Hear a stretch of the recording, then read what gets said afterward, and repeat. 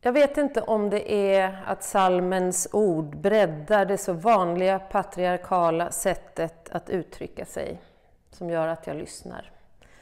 Far blir mor.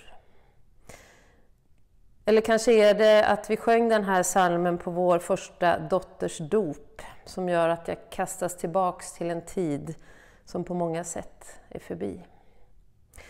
Kanske spelar det ingen roll, vare sig det inklusiva språkbruket eller att jag får något nostalgiskt i blicken.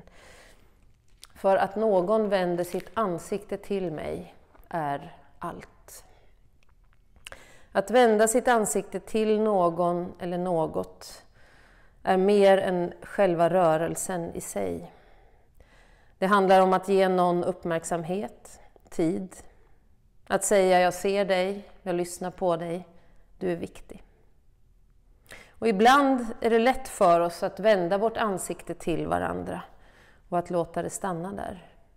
Andra gånger är det svårare och vi vill inget hellre än att titta bort, att ignorera.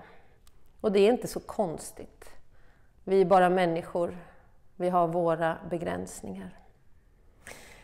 Guds ansikte är alltid vänt mot oss. Och som vi sjunger, Gud ser oss och ansiktet lyser som solen över det Gud får se och vara med om i och med oss.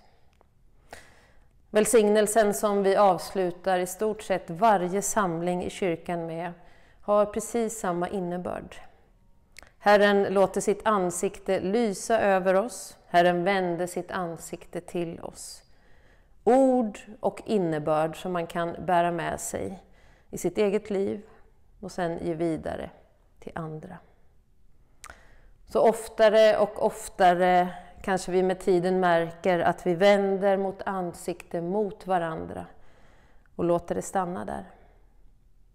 Du vänder ditt ansikte till mig och ler mot ditt barn som en mor.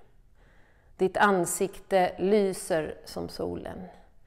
Och det är detta som gör att jag tror att du ler mot mig som en.